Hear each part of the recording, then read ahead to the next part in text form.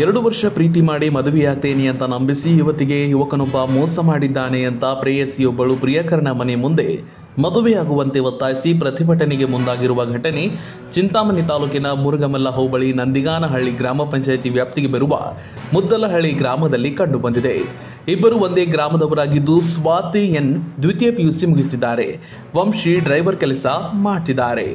ತಾಲೂಕಿನ ಮುದ್ದಲಹಳ್ಳಿ ಗ್ರಾಮದ ಎಸ್ಸಿ ಜನಾಂಗಕ್ಕೆ ಸೇರಿದ ನಾಗೇಶ್ ಎಂಬುವರ ಪುತ್ರಿ ಎನ್ ಸ್ವಾತಿ ಹಾಗೂ ಅದೇ ಗ್ರಾಮದ ದೋಬಿ ಜನಾಂಗಕ್ಕೆ ಸೇರಿದ ಶ್ರೀನಿವಾಸ್ ಅವರ ಪುತ್ರ ವಂಶಿ ಇಬ್ಬರು ಎರಡು ವರ್ಷಗಳಿಂದ ಪ್ರೀತಿಯಲ್ಲಿದ್ದರು ಎನ್ನಲಾಗಿದೆ.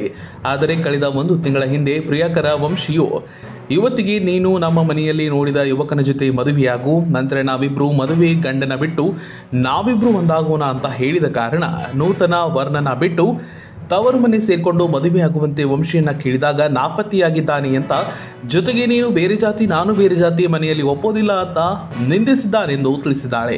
ಇವಾಗ ಕೇಳಿದ್ರೆ ನಿಮ್ಮಪ್ಪ ನಿಮ್ಮ ಅಮ್ಮನ ಮಾನ ಮರ್ಯಾದೆ ಹೋಗುತ್ತೆ. ಇವಾಗ ಕೇಳ್ಬೇಡ ಮೊದ್ಲು ಇವಾಗ ಎಲ್ಲಿದೆ? ಬೀದಿಯಲ್ಲೇ ಇದೆಯಲ್ಲ? ಹಾ? ಮಾತಾಡಮ್ಮ ಅಂದ್ರು. ಇವರು ನಾವು ಅಲ್ಲಿ ಗಂಟ ಬರಲ್ಲ ಸೆಂಟ್ರಲ್ ಎಲ್ಲಾದ್ರೂ ಮಾತಾಡ್ಕೊಳ್ಳೋಣ. ಸ್ಟೇಷನ್ ಹತ್ರ ಬರಲ್ಲ. ಕಂಪ್ಲೇಂಟ್ ಕೊಡಂಗಿದ್ರೆ ಕೊಡೋಗ್ರಿ. ನಿಮ್ ಕೈಲಿ ಏನಾದ್ರೆ ಅದ್ ಮಾಡ್ಕೊಳ್ಳಿ ಅಂತ ಮಾತಾಡಿದ್ರು. ಒಂದ್ ಆರ್ ತಿಂಗಳು ಮುಚ್ಚಿ ಕಟ್ತೀರಿ ಮತ್ತೆ ಬೇಲ್ ತಕೊಂತೀರಿ ಕಡೆಗ್ ಬರ್ತೀರಿ. ಏನಾಗತ್ತೆ ಅವ್ರ ಕೈಯಲ್ಲಿ?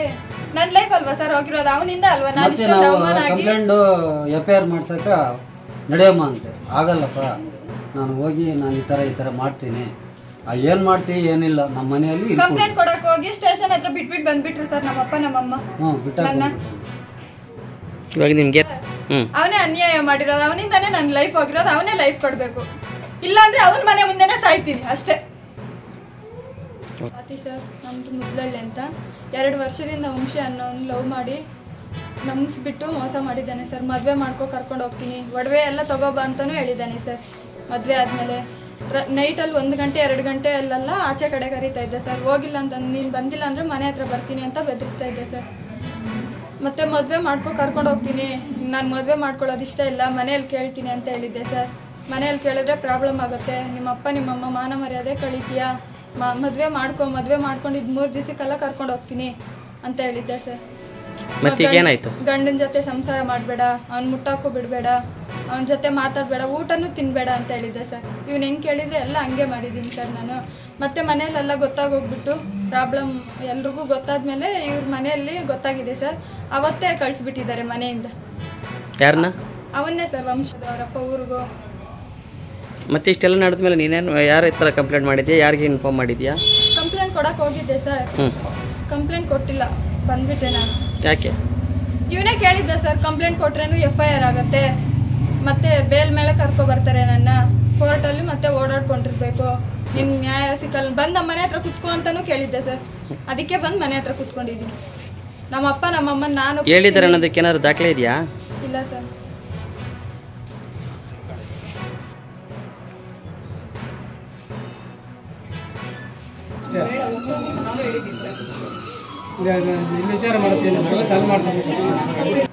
ವಿಚಾರ ಎಲ್ಲ ನಿಮ್ಗೆ ಗೊತ್ತಿರ್ತದೆ. ಈ ಹಿಂದೆ ಏನೇನಾಯ್ತು ಅನ್ನೋದನ್ನ ಹೇಳಿ ಫಸ್ಟು ಮದುವೆ ಮಾಡಿದೆ. ಹ್ಞೂ ಮದುವೆ ಮಾಡೋಕ್ಕೆ ಮುಂಚೆ ಏನು ಇಂಥ ವಿಷಯನೇ ನಮ್ಗೆ ಕೇಳಿಲ್ಲ.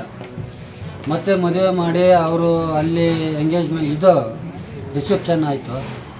ಮತ್ತು ಇಲ್ಲಿ ರಿಸೆಪ್ಷನ್ ಆಯಿತು. ತಿರ್ಗಾ ಹೊಸ್ಗೆ ಎಲ್ಲ ಹಾಕಿ ತಿರ್ಗಾ ಒಂದು ಮಾಡೋಕೆ ಬಿಟ್ರೆ. ಅವನು ಸೇರ್ಲಿಕ್ಕಿಲ್ಲ. ಅವನು ಹುಡುಗನು ಹೇಳಿಲ್ಲ ನಮ್ಗೆ ಏನು ಅಂತ. ತಿರ್ಗಾ ಎರಡನೇ ದಿನ ಏನು ಮಾಡಿದೆ, ಈ ಥರ ಈ ಥರ ಅಂತ ಹೇಳಿದ್ನು. ನಾವು ಇದ್ಕೊಂಡು ಯಾಕಮ್ಮ ಈ ಥರ ಮಾಡ್ತೀಯ ಅಂದರೆ ನಮ್ಗೆ ಏನೂ ಹೇಳಿಲ್ಲ. ತಿರ್ಗಾ ಅಕ್ಕಪಕ್ಕ ನಮ್ಮ ಅಕ್ಕ ಅವರು ಇವರೆಲ್ಲ ಹುಡುಗಿನ ಸಪ್ರೇಟ್ಗೆ ಕರೆದು, ಏನಮ್ಮ ಈ ಥರ ಈ ಥರ ಮಾಡ್ತೀಯ? ಸರತ್ತದ ಅಂತ ಕೇಳಿದ್ರೆ, ಇಲ್ಲ, ನನಗೆ ಇವನ ಮೇಲೆ ಇಷ್ಟ ಇಲ್ಲ. ನಾನು ವಂಶ ಅನ್ನೋ ಹುಡುಗನ್ನ ಲವ್ ಮಾಡಿದ್ದೀನಿ. ಅವನೇ ಬೇಕು ಅಂತ ಹೇಳಿ ಹ್ಞೂ ನೋಡಮ್ಮ, ಇದೆಲ್ಲ ಆಯಿತು, ಹೋಗಿದ್ದು ಮೊದಲು ಏನು ಮಾಡಿದ್ದು, ಏನೋ, ಇನ್ನನ್ನ ನಡ್ಕ, ನಮ್ಮ ಮಾನು ಮರ್ಯಾದೆ ಒಂಥರ ಉಳಿಸಿ ಅಂತ ನಾವು ಕೇಳ್ಕೊಂಡು ಕೇಳಿಲ್ಲ ಮತ್ತು ಈ ನಮ್ಮ ಅಣ್ಣವರೆಲ್ಲ ಹೇಳಿದ್ದಾರೆ, ನೋಡಪ್ಪ, ಈ ಥರ ಈ ಥರ ಐತೆ ಅಂತೆ. ನಿಮ್ಮ ಮಗುಗೆ ಸ್ವಲ್ಪ ಹೇಳಿ ಅಂತ, ಅವರಪ್ಪ ಏನೇನು, ಏನು ಹೇಳಿದ್ದಾನೆ, ಇದು ಮೊದಲೇ ನಮ್ಗೆ ಕೇಳಿದ್ರೆ ನಾವೇ ಮಾಡ್ಕೊಂಡ್ರೆ ಅಂತ ನಮ್ಮ ಅಣ್ಣಕ್ಕೆ ಹೇಳಿದ್ರು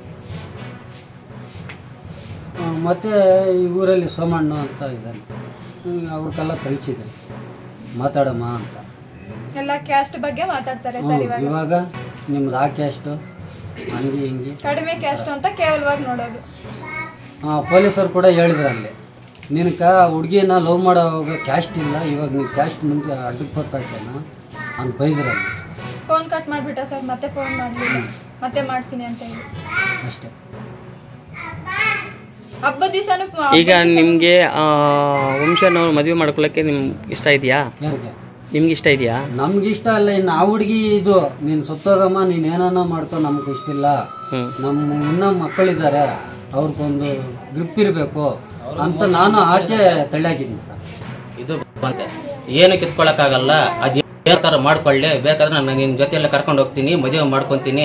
ಇನ್ನು ಒಡವೆಗಳು ತಗೊಂಡ್ ಬಂದ್ಬಿಡು ಅಂತ ಅಂದ್ಬಿಟ್ಟು ಅದು ಹಂಗೋಡೆ ಬೆದರಿಸಿದ್ದಾನೆ. ಅದಕ್ಕೋಸ್ಕರ ಹುಡುಗಿ ಮದುವೆ ಆದಮೇಲೆ ಅವರ ಗಂಡ ಜೊತೆಯಲ್ಲಿ ಸಂಸಾರ ಮಾಡಿದಿರ ನಾನು ಇಲ್ಲೇ ಇದು ಮಾಡ್ತೀನಿ ಅಂತ ಅಂದ್ಬಿಟ್ಟು ಅವ್ರ ಭಯ ಹಿಡಿಸಿರೋದು ಆ ಹುಡುಗ.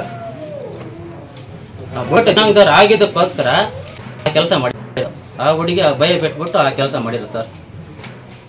ಸರ್ ಅದು ರೆಕಾರ್ಡ್ ಇದ್ರೆ ಆಗ್ಬಿಡಿ ಸರ್ ಇದು. ಒಂದು ಫಸ್ಟ್ ಏನು ಮಾಡಿದ್ದಾನೆ ಲವ್ ಮಾಡಿದ್ದಾನೆ ಭಯ ಬಿಟ್ಟಿದ್ದಾನೆ ಹಿಂಗೆ ಮದುವೆ ಮಾಡ್ಕೊಂಡ್ರಿ ಇದಾದ್ರೆ ಮತ್ತೆ ಮದುವೆ ಮಾಡೋಕ್ಕಾಗಲ್ಲ ಕಾಗಲ್ಲ ಏನಿಲ್ಲ. ನಿಮ್ಮ ಮನೇಲಿ ಪ್ರಾಬ್ಲಮ್ ಆಗ್ತದೆ ನಮ್ಮ ಮನೇಲಿ ಪ್ರಾಬ್ಲಮ್ ಆಗ್ತದೆ ಅಂತ ಭಯ ಬಿಟ್ಟಿದ್ದಾನೆ ರಾತ್ರಿ ಹನ್ನೆರಡು ಗಂಟೆ ಆದ್ರೂ ಎರಡು ಗಂಟೆ ಆದ್ರೂ ಹೋಗಕ್ಕೆ ಮಾತ್ರ ರೆಡಿ ಇರ್ತಾಳೆ ಹುಡುಗಿ. ಅವ್ನ ಕರೆಯಕ್ಕೆ ಮಾತ್ರ ರೆಡಿ ಇರ್ತಾನೆ.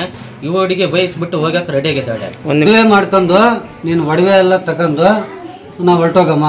ಬೆಂಗಳೂರಲ್ಲಿ ಮನೆ ಮಾಡ್ಕೊಂಡು ನಿನ್ನ ಆರಾಮ್ಗ ನೋಡ್ಕೊಂತೀನಿ. ಒಂದು ನಿಮಿಷ ಇರೋಣ ಒಂದು ನಿಮಿಷ.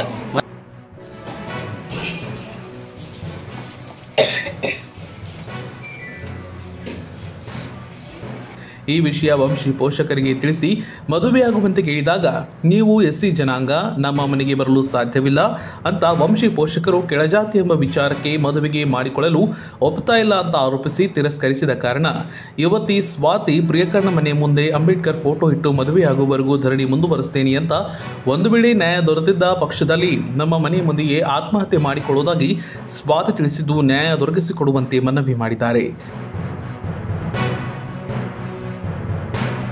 ಸೀನಾ T star news one Kannada Chintamani